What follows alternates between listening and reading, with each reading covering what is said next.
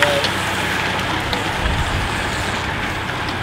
And then when I got here and I looked at that hill and I went, "Are you serious?" I, I really did. I, Yeah, they I, I rode up and I said straight, "That is the hardest climb I've ever ridden. I've ridden for 20 years. Is it? That is the hardest climb Is I've ever ridden. But in the race, it did not feel hard. I felt like I went up there. I really felt like I went up there within myself, and I think that's where tactically I won. Anyone that, did anything early in that stage was going to pay a huge toll at the end, and I don't think a lot of people really gave it the respect that it deserved. Mm, yeah. Uh, it's important to respect other com- riders, but also important to respect the course as well. And we all know that Tour of Toowoomba is renowned for having a tough course.